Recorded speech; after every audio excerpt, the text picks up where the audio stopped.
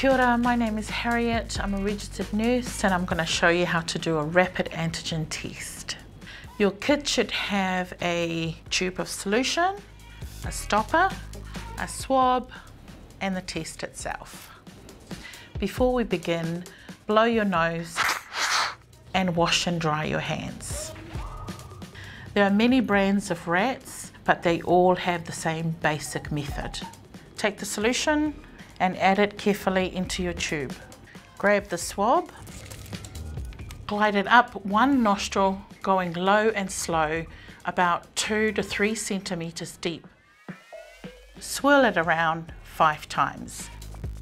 And then you also need to do it for the other nostril. Four, five. Now place the swab in the solution and swirl it five times until the swab is completely soaked. And while removing the swab, squeeze it to the side to get as much of the liquid out as you can. Place the stopper firmly on the tube and shake it to give it a good mix. Now you need to get your test ready and there should be a small well where you place the drops.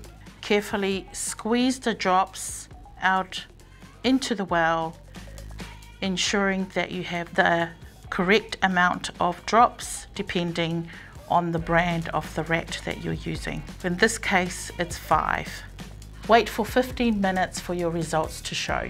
This may differ depending on the test type. You'll see the solution travel along the test path.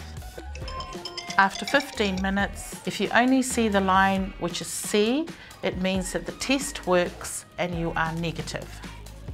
But if you see two lines, even if it's just a faint line at the T, this means you test positive for COVID-19. If you test positive or negative, please report your test.